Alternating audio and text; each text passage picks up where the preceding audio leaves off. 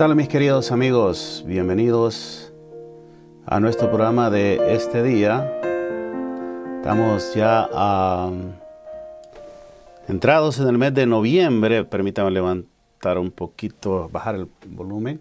Estamos a noviembre 23. Así que un saludo cordial de parte de este su hermano y amigo Ángel Galeano. Le estamos eh, enviando un saludo cordial a cada uno de ustedes. Gracias por estar en, nuestra sintonía. Y el día de hoy este, vamos, a, vamos a estar hablando de un tema muy importante, muy interesante, cómo es el bautismo. Hoy es una, un día muy especial para, para mí en lo especial, eh, porque se va a bautizar una de, eh, un miembro de mi familia por primera vez y es una niña que yo quiero y aprecio mucho eh, y amamos con nuestro corazón, como es este Eileen. Yo voy a decir a Eileen que pase por acá. Pasa Eileen. Te voy a dar pena, ¿verdad? Eileen se va a sentar acá, a mi izquierda. Así es que el día de hoy, Eileen, a ver Eileen, vamos a hablar un poquito contigo, ¿verdad? No te va a dar pena, ¿verdad? No. Sonríe y mira para la cámara, para allá. Eileen, ¿cuántos años tienes, Eileen? Tengo nueve años. A ver, di, hola hermanos, ¿cómo están? Hola hermanos, ¿cómo están? Ah, bueno. Eileen es una niña de nueve años, cumplió nueve añitos, pero ella ha decidido eh, entregar su vida a Cristo, ¿verdad? Ella ha, decidido, como les dije, ha tomado la decisión de una forma voluntaria bautizarse. ¿Por qué has querido bautizarte, Lilian? ¿Por qué quieres bautizarte? Yo esperaba bautizarme porque me siento como mi mamá cuando... ¿Feliz? Feliz y también orgullosa de yo misma. Ajá, y de ver qué, has conocido en, este tiempo. Yo, yo he conocido que um, de la Biblia y también un montón de cosas. ¿Como quién?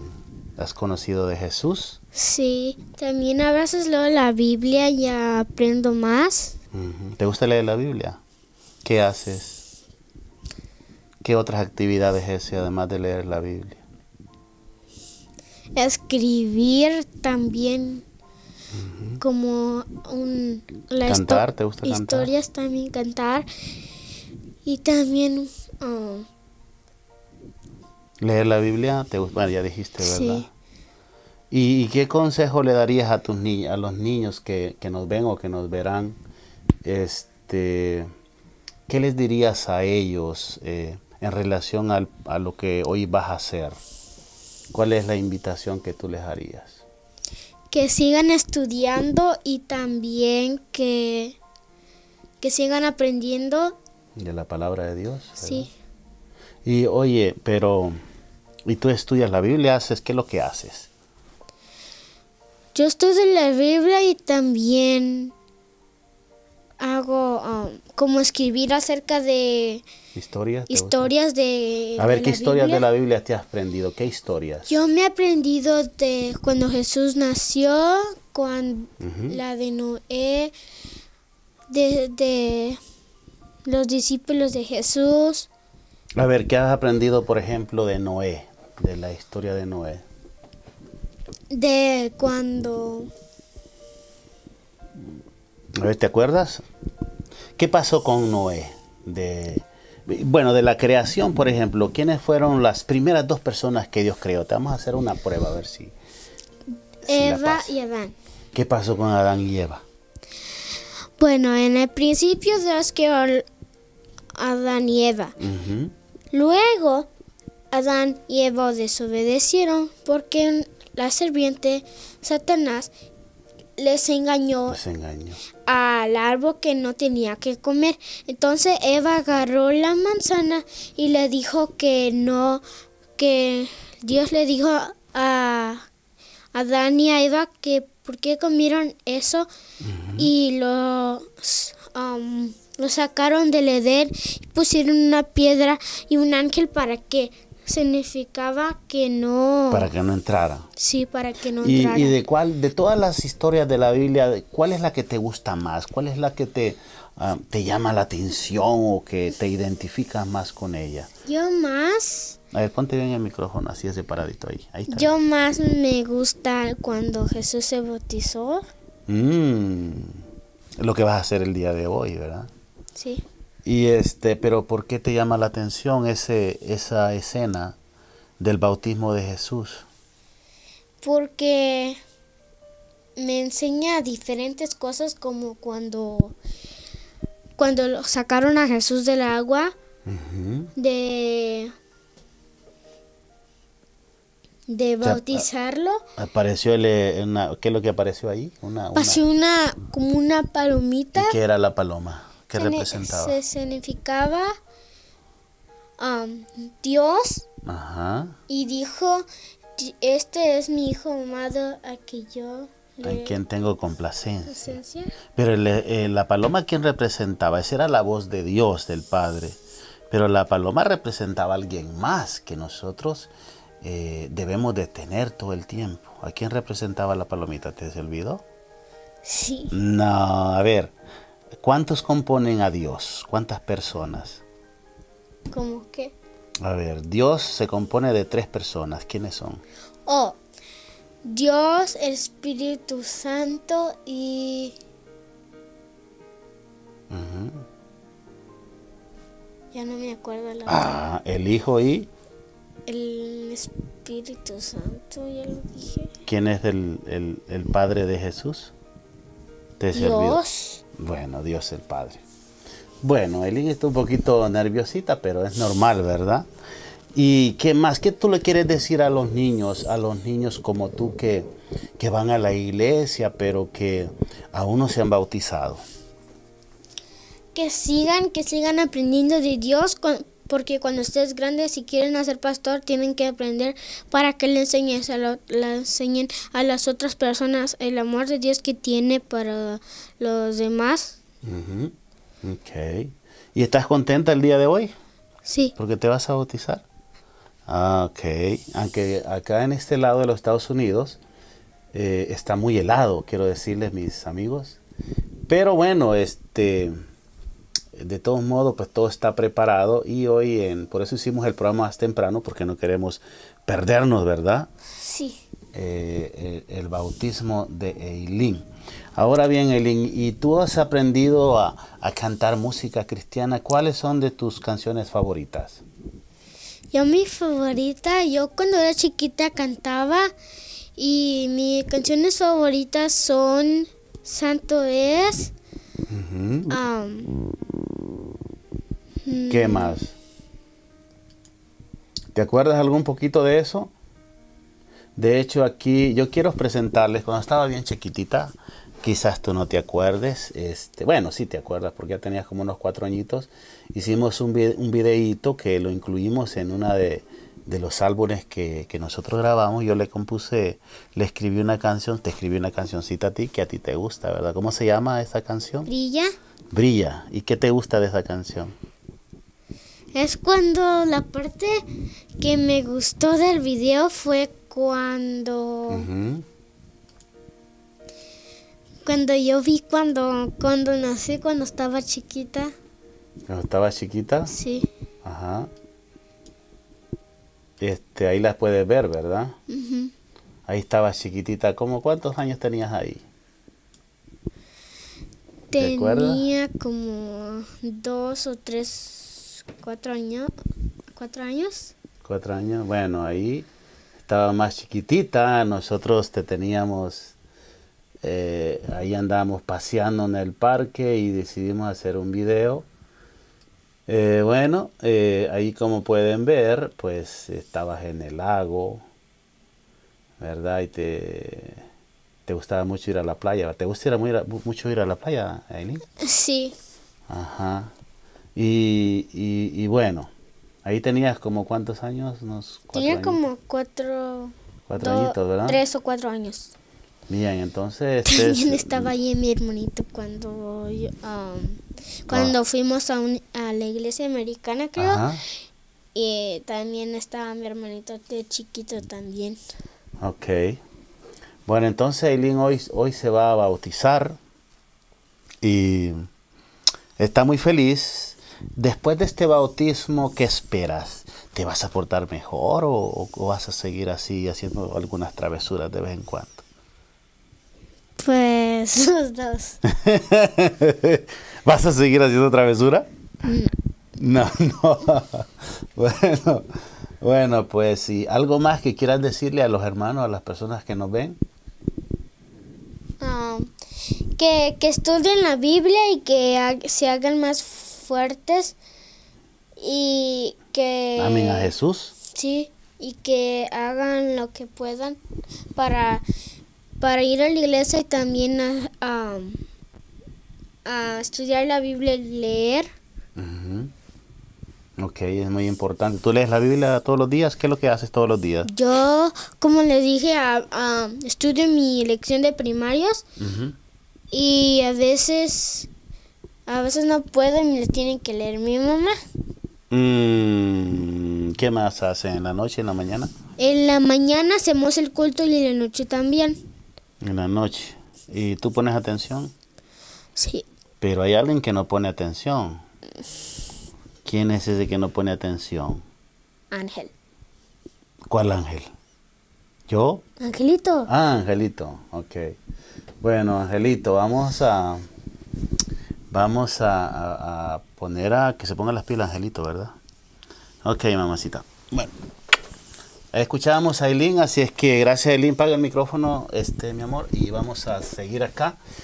Hoy, como les dije, eh, debido a este con- acontecimiento especial que vamos a eh, presenciar como a las 3 y, y am, 15 de la tarde vamos a estar eh, bautizando a Aileen. Ella va a estar, eh, pues, haciendo ese pacto, ese compromiso con Dios, ¿verdad? Eh, es muy importante, yo creo que si usted ya lo dio, si usted ya se bautizó, sabe realmente eh, qué es lo que significa, ¿verdad? Entonces, todos hemos pasado por ahí, los cristianos que nos hemos bautizado, que hemos conocido a Jesús eh, y le hemos entregado nuestra vida, nos hemos bautizado y hemos aceptado eh, su, su palabra. Y bueno, tengo otro amigo acá, ¿quiere venir? Ven pues, ven. Acá entro, pero bueno, aquí está Angelito y vamos a entrevistar a Angelito acá. Entró, aquí puede pasar cualquier cosa. A ver, ¿qué nos quieres decir? ¿Cómo te llamas? A ver, preséntate. Ángel. Ángel. ¿Y um, tú te quieres bautizar algún día también? ¿Cómo cuándo? Ah, cu- ¿Cuándo? Cuando esté grande. ¿Como cuántos años? cuan- cuando esté grande. Ujú. Más o menos de que unos, ¿qué? ¿Nueve, diez años? ¿Sí? Sí. Bueno, y bueno, hoy, hoy sabes que se va a bautizar tu hermanita, ¿verdad? Sí. ¿Y va, vas a ir al bautismo?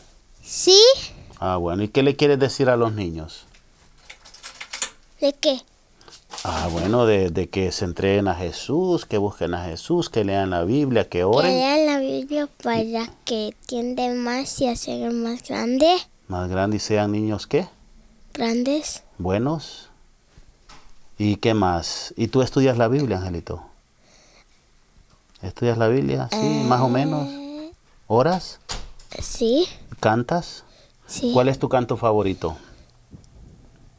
Ah, ¿Querido Jesús? No. ah, ¿Te acuerdas de Querido Jesús? Querido sábado es. Ah, ese también. ¿Y Querido Jesús te gusta? ¿Te acuerdas? ¿Puedes cantar un poquito? te da vergüenza, te da pena, ¿verdad? ¿Por qué? Bueno, pues este Angelito ya lo presentamos acá. Él vino acá intespestuosamente y quería hablar. Entonces, vete para allá, papacito, y luego pues vamos a seguir este, hablando. Bueno, estos son mis hijos. Eh, estamos tratando, por supuesto, el esfuerzo de, de los cristianos, de los padres, es llevar a sus hijos también a los pies de Jesús, enseñarles el camino, la verdad y la vida, como es Jesús, así lo dice su palabra, para que después cuando ellos sean grandes puedan tomar buenas decisiones y puedan eh, algún día alcanzar ese sueño que todos los que nos hemos entregado a, Jesús, eh, como es eh, llegar a la patria celestial, vivir en un mundo diferente y, bueno, estar ante la presencia de nuestro Dios, ¿verdad? Después de tantas luchas, después, después de tantas adversidades que, que hemos vivido acá en la tierra.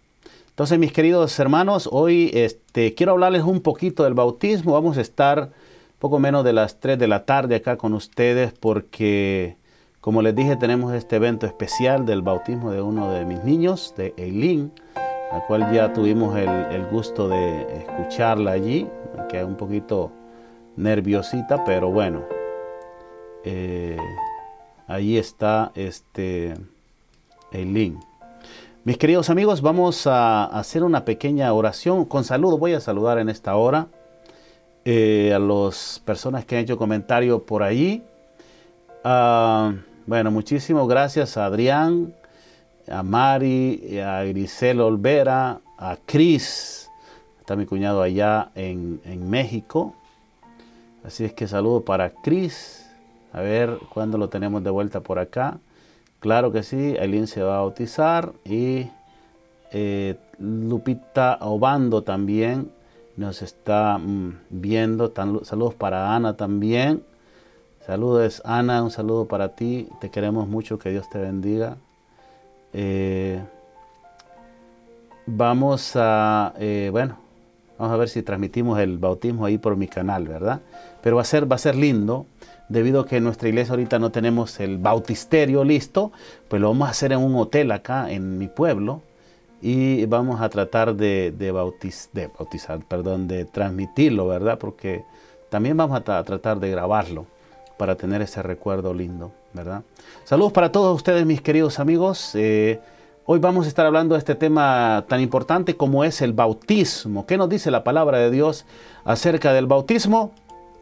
Eso lo estaremos eh, meditando, tratando en unos, en unos segunditos, ¿verdad? En unos minutitos, acá a través de nuestro canal Ángel Mensajero TV. Antes de todo, mis queridos amigos, quiero pedirles que nos acompañen en una, en una pequeña oración antes de iniciar este, este, este estudio que va a estar sumamente interesante. Yo sé que usted va a aprender muchísimo, ¿verdad?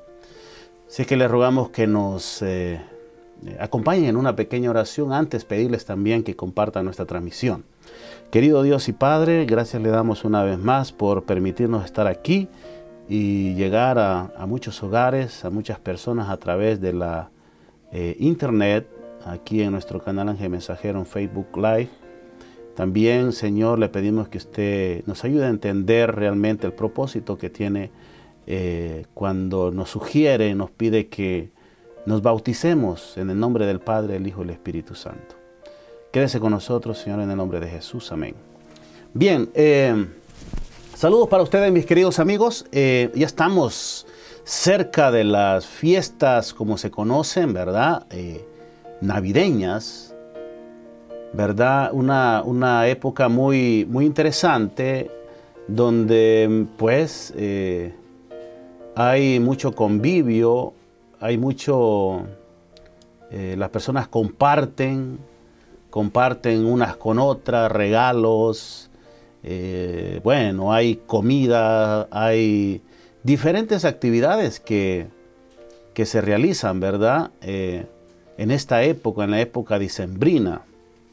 Obviamente todo el motivo es el nacimiento de Jesús.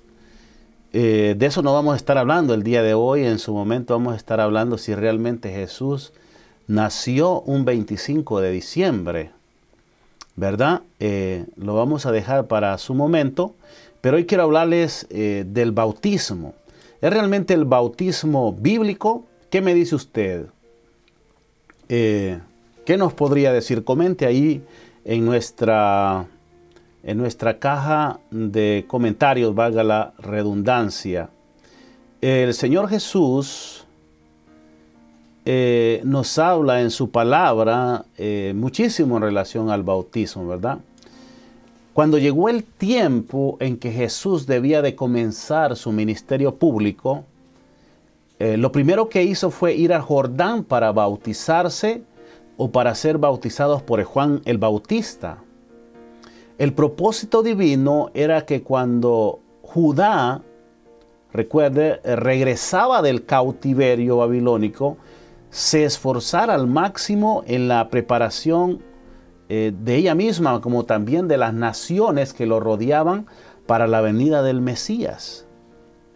Aguardaba la nación un futuro glorioso pues el programa divino continuaría aceleradamente y sin interrupción hasta que el Mesías apareciera, ¿verdad? Y estableciera su reino eterno. El proceso de preparación eh, llegaría al máximo con la vida y el ministerio de Juan el Bautista, a cuya obra se refiere, ¿verdad? Específicamente eh, estas palabras que aparecen en Mateo 3.3 eh, del mismo modo, la iglesia hoy tiene el privilegio de preparar el camino a Dios, a Jehová, a fin de que Él pueda volver a la tierra con poder y gloria.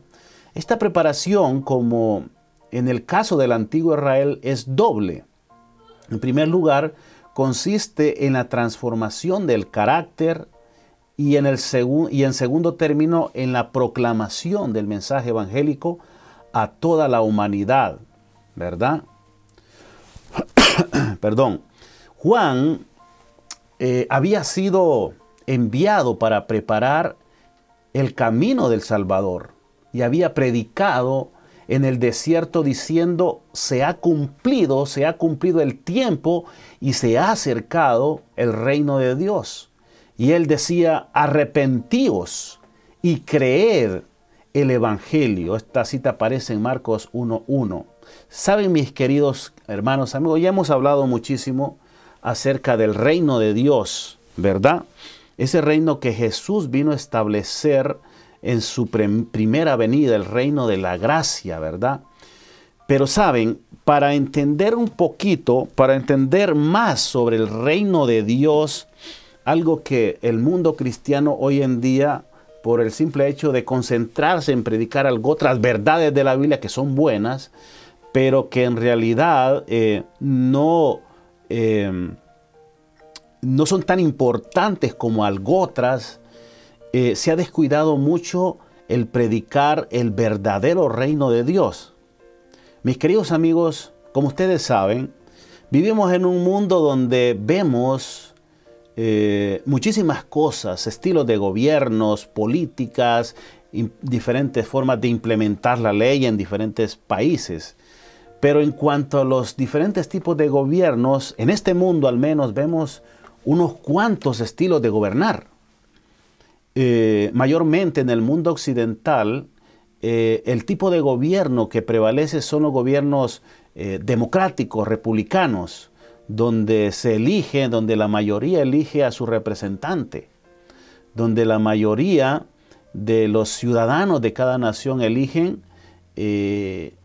a sus candidatos favoritos y el que alcanza una mayoría el candidato que alcance la mayoría, ese es el presidente. O sea que si tiene la mitad más uno, ese sería el presidente, ¿verdad? Aunque después surgen muchas dificultades, muchos problemas, porque obviamente casi la mitad está en desacuerdo con ese candidato.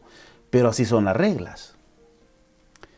En cuanto a Dios se refiere, la forma de gobernar eh, de Dios es al estilo de un reino, ¿verdad?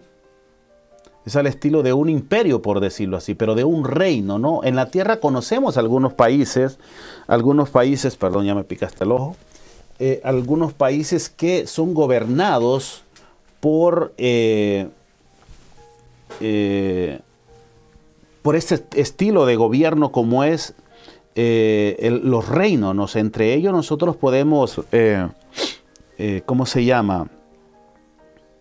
Podemos ver a Inglaterra, por ejemplo. Inglaterra es un país que su estilo de gobierno es monárquico, eh, es un reino, ¿verdad? Y así también podemos, eh, por ejemplo, eh, citar a España, Dinamarca, la misma Suiza, ¿verdad? Son países que la cabeza principal es, es un rey, claro, hay un primer ministro, y de esa forma, mis queridos, no de esa forma, pero siguiendo este mismo principio, que yo creo que es un principio tomado de la palabra de Dios, porque el reino de Dios, el, estilo de gobierno de Dios es un reino. ¿Me hago entender? Dios dice que es un reino y cuando Cristo vino acá vino a establecer su reino no es que anteriormente este reino no hubiese estado acá en la tierra. De hecho, así fue. Desde el mismo momento cuando Dios estableció, creó los cielos y la tierra y todo lo que hay, Él estableció también su reino acá. Pero todos sabemos que ese reino, eh, si se quiere, duró muy poco con la entrada del pecado. El mismo Satanás reclamaba esta tierra como, como parte de su pertenencia cuando en una ocasión le dijo a Jesús, si postrado me adorases, te entregaré y le mostró, dice, como en, eh, en una visión panorámica todos los reinos de este mundo. Obviamente, Satanás había eh, derrotado eh, espiritualmente, por decirlo así, a Adán allá en el Edén y Adán de una forma automática, porque así eh, lo hemos visto durante las guerras de los imperios, de los reinos que han eh, recorrido en este mundo, como un imperio eh, conquistaba otro y este pasaba, este territorio pasaba a poder del conquistador. De esa forma, Satanás conquistó este territorio que Dios había establecido, ¿verdad? Y cuando nosotros eh, nos venimos más acá, a la época de Jesús, la profecía nos anunciaba que vendría un Mesías. Es interesante, ¿verdad? Vendría un Mesías a restablecer lo que se había perdido. Y lo que se había perdido era el reino de Dios, el poder, se había perdido la autoridad, ¿verdad? Es por eso que nosotros vemos desde casi um, despuesito de que el hombre pecó, vimos cómo en el mundo y la palabra de Dios nos narra de las terribles calamidades, de la tremenda apostasía que el pueblo de Israel eh, se inmiscuía o practicaba, que Dios tenía que traer gentes, ejércitos o traer eh, cierto tipo de pruebas, de castigo sobre, sobre su pueblo para que estos se levantaran y reflexionaran y volvieran al arrepentimiento. Y volvía a Dios a hacer pacto con su pueblo. En la Biblia nos habla acerca de unos seis, siete pactos que Dios, que Jehová hizo con su pueblo, ¿verdad? No es que eran diferentes pactos, simplemente era que el pueblo se olvidaba de los compromisos y los pactos que había hecho con Dios. Y bueno, como Jehová es fiel, como Dios es fiel para sostener su palabra, como todos debemos ser así, él permanecía fiel a sus pactos, pero los, sus hijos no se olvidaban.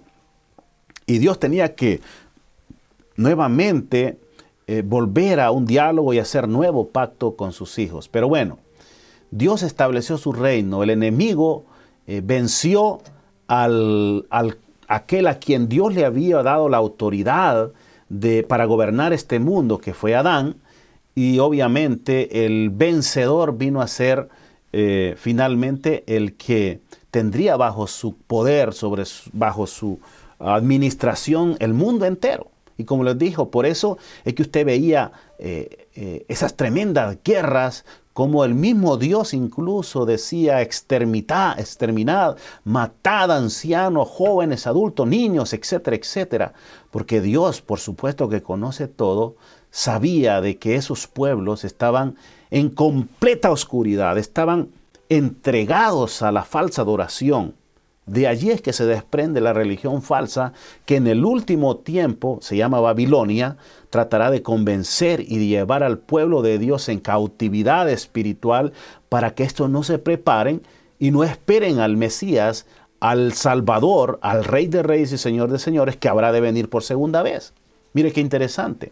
Pero la profecía nos decía que eh, vendría un Mesías y finalmente la profecía se cumplió el Mesías ah, ah, se eh, eh, apareció y Dios habló eh, previo a la aparición de este Mesías de un personaje que al igual que en el último tiempo también habrá de surgir un grupo de personas que se llaman los 144 mil que prepararán el camino al Mesías.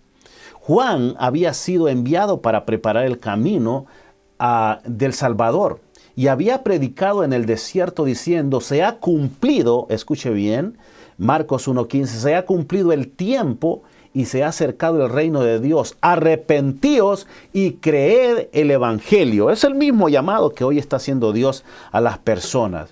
Se ha acercado el tiempo en aquel entonces, el tiempo cuando...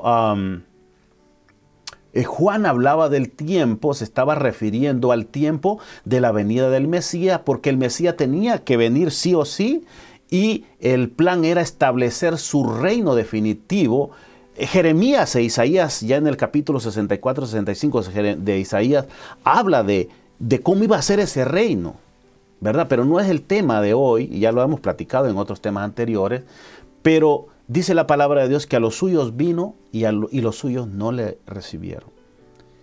No le eh, no estaban listos, no estaban esperándolo y por eso Dios mandó eh, a un eh, un emisario, por decirlo así. Así ha sido todo el tiempo. Por eso les dije yo que para entender a Dios y, y, su gobierno, es muy importante que nosotros entendamos el estilo de gobierno de Dios como de un reino, porque cada vez que un rey eh, eh, iba a visitar a cierto lugar, enviaba a sus emisarios para anunciar que el rey o que el encargado o el enviado del rey iba a hacerse presente.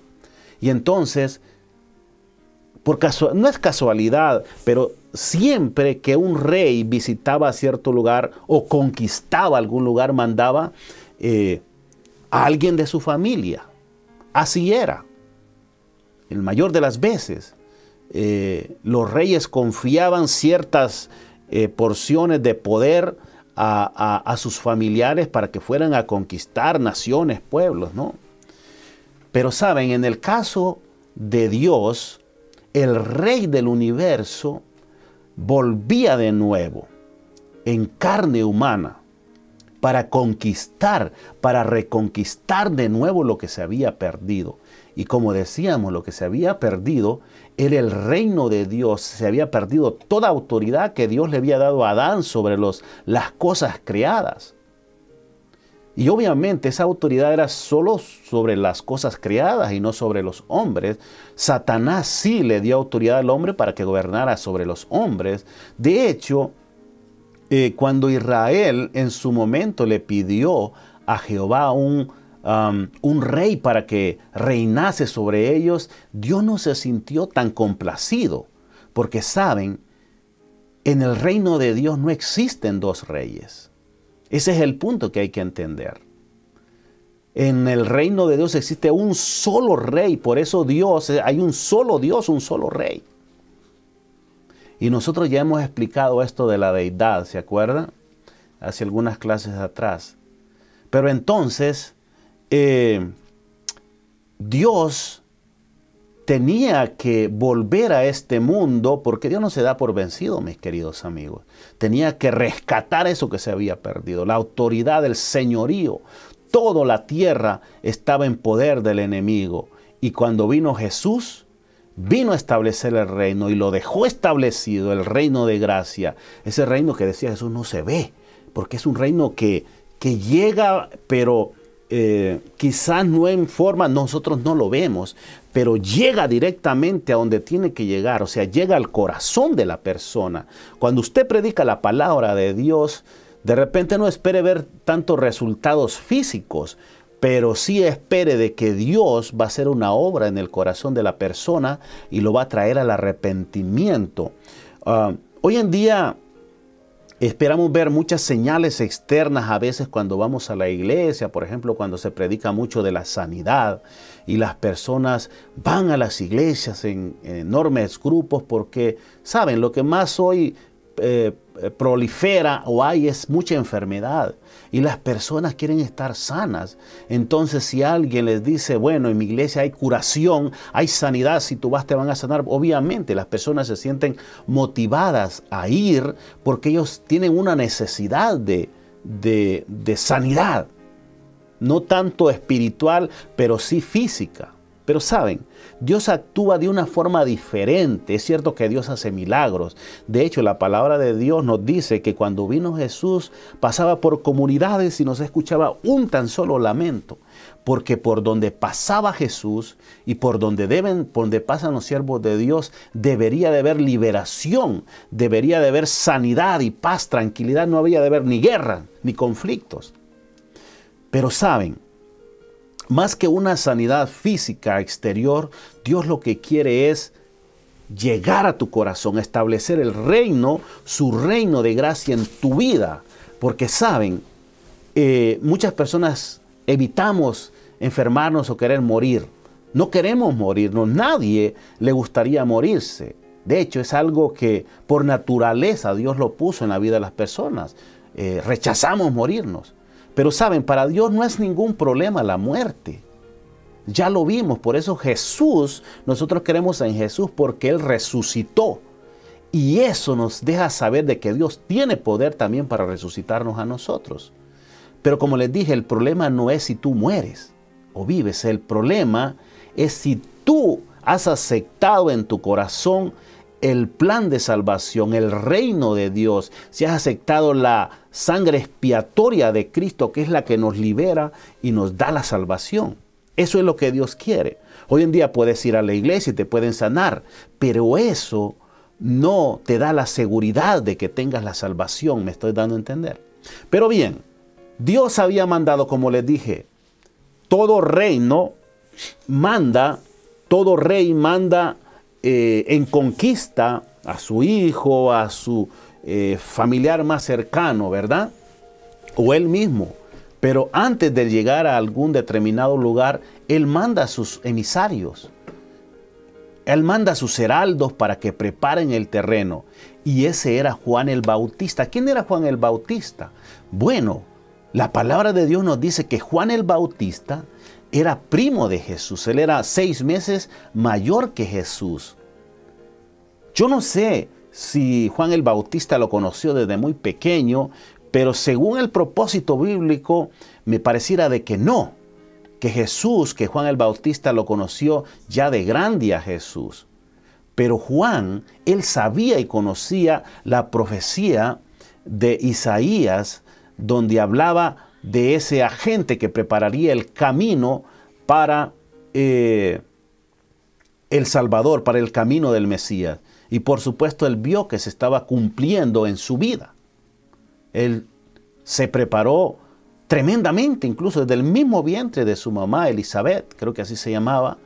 Eh, usted conoce la historia en una vez, en una ocasión cuando María eh, fue a visitar a Elizabeth y cómo fue la impresión que sintió esta madre al llegar eh, la madre de Jesús, ¿verdad? Ambos, ambas madres se encontraron y eso fue un encuentro increíble, el mejor, el mejor baby shower, por decirlo así, ¿no? que pudiésemos eh, nosotros celebrar. Entonces dice que eh, Juan eh, fue el enviado para preparar el camino y acudían multitudes para oírle. Muchos eran convencidos de pecado y él los bautizaba en el río Jordán. Dios había hecho saber a Juan que un día el Mesías vendría a él para ser bautizado también le había prometido que le daría señal por la cual habría de conocerle. Cuando Jesús vino, el, bautista Juan observó eh, en su rostro evidencias tales de su vida santa que se, se resistió diciendo, yo he menester ser bautizado por ti ¿Y tú vienes a mí? le dijo el Señor Jesús. Mas Jesús respondiéndole le dijo, consciente ahora, porque así nos conviene cumplir toda justicia.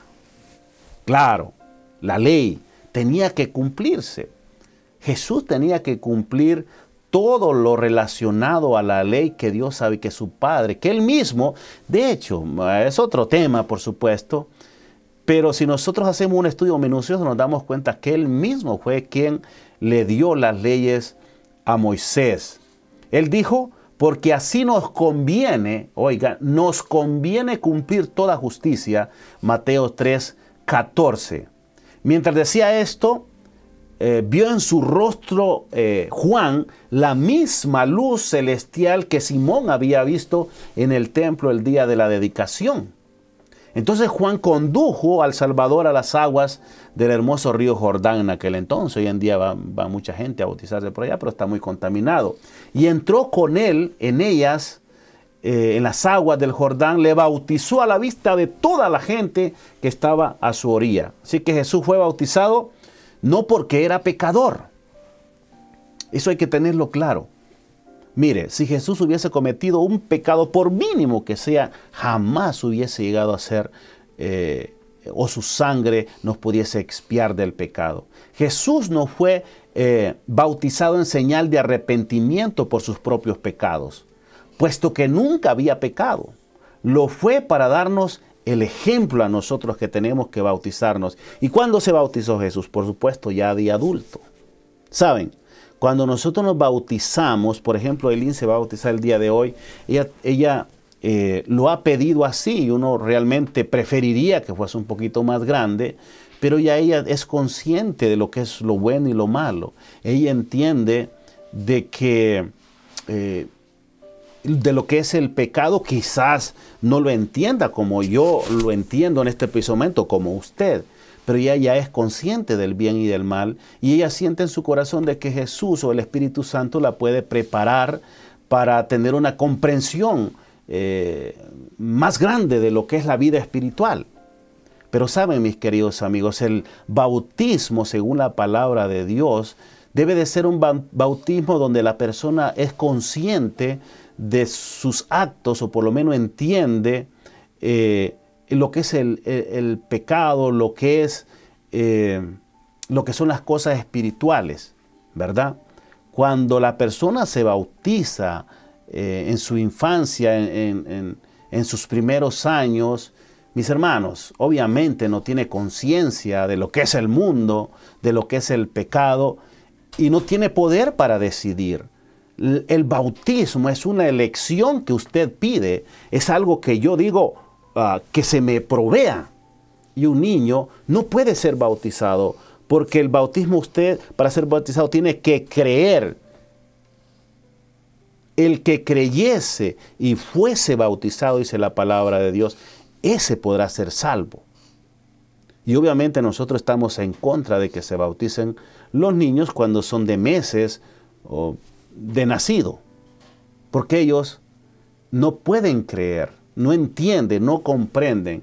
De esa forma Jesús se bautizó no porque era un pecador, porque nosotros sí, nosotros sí nos bautizamos porque somos pecadores y creemos por fe que simbólicamente al bautizarnos Dios nos lava, nos quita nuestro pecado y ahí iniciamos una nueva vida en Cristo, ¿verdad? Así es que, y para complementar, también en el bautismo del Señor Jesús, eh, Dios nos mostró que cuando nosotros nos bautizamos, debiésemos de bautizarnos bajo la bendición de tres personas que constituyen la deidad. Cuando salió del agua, se arrodilló en la orilla del río y oró fervientemente a Dios, su Padre, el Señor Jesús. Y su Padre, por supuesto que le oyó. Dice la palabra que los cielos se abrieron y rayos de luz gloriosa resplandecieron y Juan dice que vio el Espíritu de Dios que bajaba como paloma y venía sobre él. Es que así es cuando usted toma la decisión de bautizarse, no es el trabajo únicamente de Jesús o solamente del Espíritu o solamente del Padre. No se puede separar el trabajo de Dios, ¿verdad? Es imposible que el Hijo actúe eh, sin relación al Padre o al Espíritu Santo. Ellos tres actúan como si fueran una sola persona. Es por eso que nosotros lo conocemos como nuestro único Dios, ¿verdad? El único Dios verdadero constituido a través de tres personas. Yo sé que hay personas que eh, se les hace un tanto difícil poder entender este concepto de la deidad. Eh, se les hace un tanto difícil entender que Dios lo compone tres personas. Padre, Hijo y Espíritu Santo. Incluso Jesús decía, alguien le preguntaba que si era posible que le mostrara al Padre. Le dijo, tanto tiempo me has tenido con vosotros y aún y me preguntas que les muestre al Padre. Y él les dijo, yo soy como el Padre. Jesús era idéntico al Padre. ¿Saben una cosa, hermano? Y usted, em, quiero que lo entienda, yo no soy pastor, eh, ni soy un experto en teología, pero saben, hay secretos y hay cosas que Dios se los puede revelar al más simple de sus, de sus hijos. Y usted no necesita tener estudios eh, superiores para entender el Evangelio de Jesucristo. Pero yo le quiero decir una cosa. Cuando usted mira, al, si usted quiere conocer al Padre, usted tiene que ver a Jesús y lo está conociendo. Por eso cuando nosotros eh, decimos a veces de que nuestros hermanos están en energía cuando creemos que Dios lo compone en tres personas. No sabemos lo que estamos hablando, mis queridos hermanos, y nunca hemos experimentado la unidad, porque saben, Dios es unidad. Nuestro Dios uno es, esa era la Shema, eh, que es muy citada por los judíos. Escucha Israel, nuestro Dios uno es. Nuestro Dios, Jehová, uno es. Saben, ya hemos hablado anteriormente, pero saben, yo les quiero decir esto muy importante. Cuando usted ve a Dios, cuando usted ve a Jesús y quiere ver al Espíritu Santo, saben, espiritualmente usted no puede ver a tres personas porque son tan parecidos. en propósitos, en planes, en ideas, que usted pareciera que está viendo a una tan sola persona y cuando las personas se unen en grupos, se unen y se adhieren y hacen un solo haz de voluntades, básicamente hasta la palabra de Dios nos habla del matrimonio como que si fuéramos uno y en realidad no somos uno, somos dos, pero Dios quiere que haya matrimonios unidos, pueblos unidos, iglesia unida, porque la unión es un elemento importante que se da en la deidad. Cuando nosotros entendemos la unidad, vamos a entender a Dios. ¿Me hago entender? Vaga la redundancia. Quizás no. Pero mis amigos, si usted quiere entender más un poco de la deidad, pídale a Dios que le dé sabiduría para que eh, puedan entender estos misterios que realmente para algunos no es fácil entender. Bueno, mis queridos amigos, estamos básicamente terminando este, nuestro estudio de este día, ¿verdad? Eh, Jesús, como les dije, es nuestro ejemplo, ¿verdad? Juan 13:15 dice, porque ejemplos os he, dado, para que como yo os he hecho, vosotros también hagáis. O sea, si usted quiere agradar a Dios, si quiere agradar a Jesús, hagamos simplemente lo que Jesús hizo. Y en relación al bautismo, hagamos como Jesús hizo. ¿Qué hizo Jesús? Bueno, Él dejó que un siervo de Dios lo bautizara. Cuando ya él era mucho mayor, obviamente dice que su madre, sus padres le enseñaron todo lo relacionado a la fe, al evangelio de Dios, ¿verdad? Que ya se predicaba desde el mismo inicio de la historia eh, de este mundo. Así que a través del Evangelio nosotros todos tenemos, a través del bautismo, es el acceso para nuestra salvación. Y nuestra salvación es Jesús, ¿verdad? El más menesteroso, el más pecaminoso, el más despreciado puede hallar acceso al Padre. Cuando nos acercamos a Él, en el nombre de Jesús, la misma voz que habló a Jesús en aquella ocasión nos habla también a nosotros y nos dice, este es mi Hijo amado, tú eres mi Hijo amado, en quien tengo complacencia, me enorgullece que tú seas mi Hijo, porque has aceptado mi plan, el plan de salvación que creé para rescatarte. Así es que si nos vamos a Mateo en el capítulo 3, en los versos 13 y 17, nosotros vamos a encontrar un relato del bautismo del Señor Jesús. Puede leerlo usted y lo puede encontrar. Gracias mis queridos amigos, gracias por habernos sintonizado, escuchado y les pedimos por favor la próxima semana y las siguientes tres semanas, desgraciadamente no vamos a poder estar aquí, pero me place no estar aquí porque yo voy a ir de viaje para mi país, voy a estar compartiendo con mi familia y predicando el Evangelio y cantando, etcétera, etcétera, lo que nos apasiona hacer, así es que por ese motivo no vamos a estar en las siguientes tres semanas. Que Dios me les bendiga, cuídense mucho les esperamos, vamos a estar allí ya más o menos en la cuarta, tercera semana de diciembre acá con ustedes para eh, volver a retomar estos estudios de la palabra de Dios. Ya hemos hoy hablado un poquito del bautismo.